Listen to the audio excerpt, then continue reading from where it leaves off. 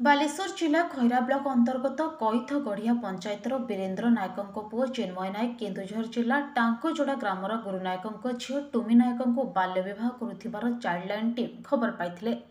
Childline team Madan ବେହେରାଙ୍କ ନିର୍ଦ୍ଦେଶ କ୍ରମେ ଟିମ୍ ଲିଡର ତପସ୍ୱିନୀ ରାଉତ ପଞ୍ଚାନନ ତ୍ରିପାଠୀ ଓ ଜ୍ୟୋତିପ୍ରକାଶ କର ଘଟଣାସ୍ଥଳରେ ପହଞ୍ଚି ବାହାଘରକୁ ବନ୍ଦ କରିବା ସହିତ ନାବାଳିକାକୁ ଉଦ୍ଧାର କରି ବାଲେଶ୍ୱର ଶିଶୁ ମଙ୍ଗଳକୁ ହସ୍ତାନ୍ତର କରିଛନ୍ତି।